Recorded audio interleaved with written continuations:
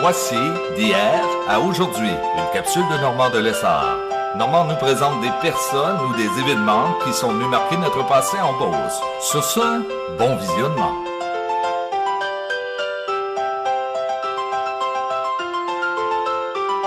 Allô tout le monde, ici Normand de Lessard et bienvenue à une autre capsule de hier à aujourd'hui. Ça se passait en 86, précisément le 8 avril. Le feu de chez Yellow Chaussures. Il était situé sur la première avenue.